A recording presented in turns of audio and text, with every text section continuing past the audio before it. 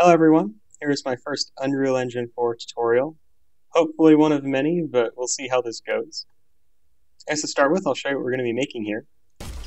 Um, you can see these gray blocks kind of fly and bounce around like regular physics objects, but if you hold the right mouse button, they come back to rebuild themselves. And they'll actually freeze up here in the, the same form that I spawned them in. And you can let go, and go back, and kind of just have them around. It's, it's really fun to play with. Um, when you shoot it and it starts going fast, you can really see that the the linear and angular velocity is maintained, um, going back and forth. So you kind of bounce it, bounce it around, bounce back and forth. And also, the code is contained within each block, so anything that doesn't have the, the time reversing code will function normally in real time.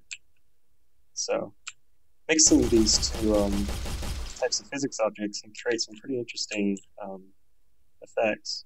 Like, that wasn't that interesting, but I'm sure you guys have better ideas than I do. See, I'm, I'm just playing with cubes. So I guess to start with, I'll show you how to make it. Um, in the character, in the first person character, we need a way to, to tell the cube that the button is, that the whatever button or action is being pressed. So a simple boolean for being pressed and not pressed is, is really all you need.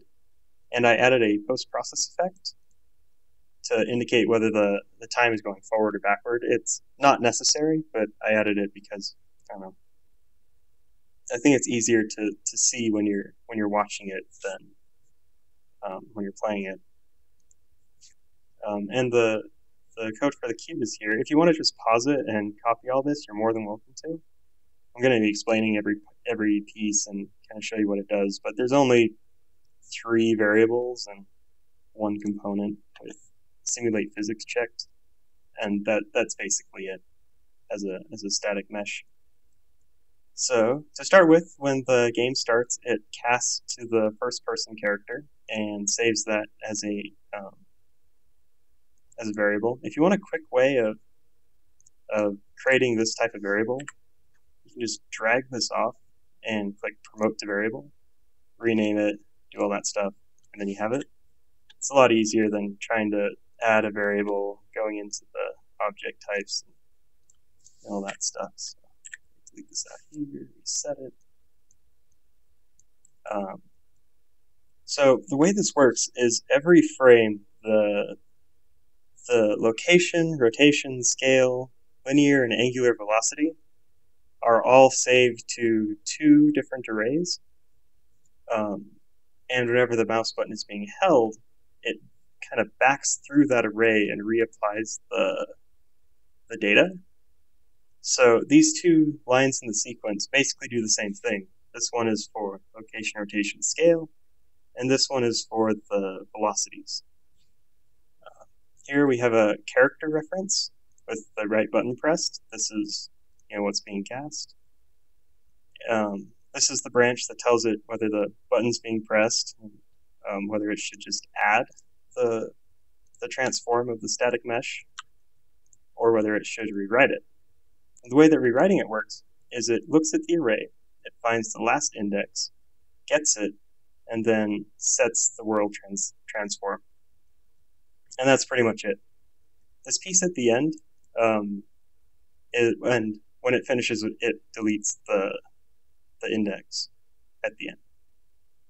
The this branch here is to make sure that players don't uh, back through the beginning of the game because it will actually delete the first index if they do, and it starts spitting out all these errors and gets really confused from my experience. Um, here, I did something kind of weird with the transform struct.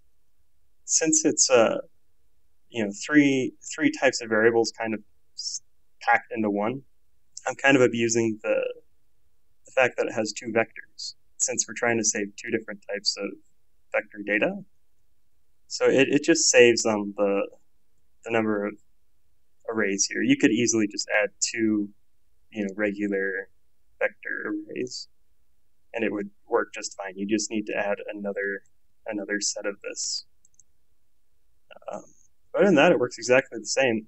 when the button isn't being pressed, it gets the linear velocity, gets the angular velocity, makes it into the transform, and then adds it to the array.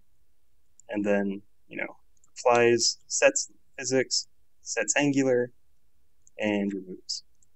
Now, you make sure that you have this unchecked, because otherwise it'll, you know, it'll just add the, the velocity that it thinks it should have, and it won't be accurate, and notice it, it does some pretty weird things.